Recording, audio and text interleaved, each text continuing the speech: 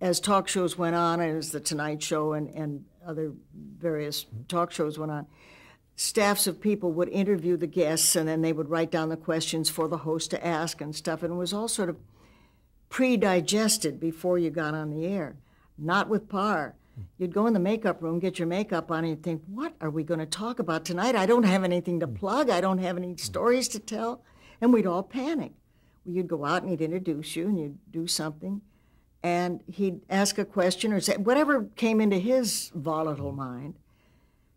And you'd answer. And then pretty soon a conversation would strike up. And he might go off at a tangent to the left or to the right or straight up or whatever.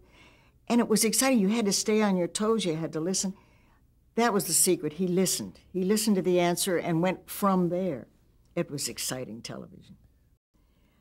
And when Paar ended and Johnny was signed to do, Paar ended in the spring and Johnny was signed to do the fall start of the new Tonight Show. And for a long time, I wasn't on the Johnny Show because I was so associated with Paar. But then as time wore on, I would come on and we would do the Mighty Carson Art Players. And he'd call me and he'd say, What do you think about this for a sketch?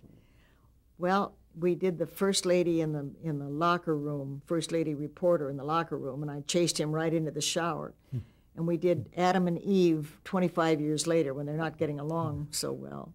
Then we did uh, Tarzan and Jane 25 years later when they're trying to get a divorce. And in the, our fat leopard suit, and Johnny was in his fig leaf as, as Adam and Eve. And finally I said, Johnny, why don't you just admit it? Every time you want to take your clothes off, you call me. What is this?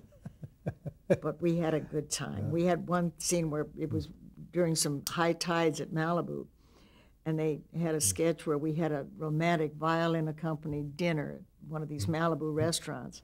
A couple little splashes of water came in. Bigger splash of water, and pretty soon 550 gallons of water washed us right off the stage. If the wall hadn't been there, we'd have been at CBS. you know.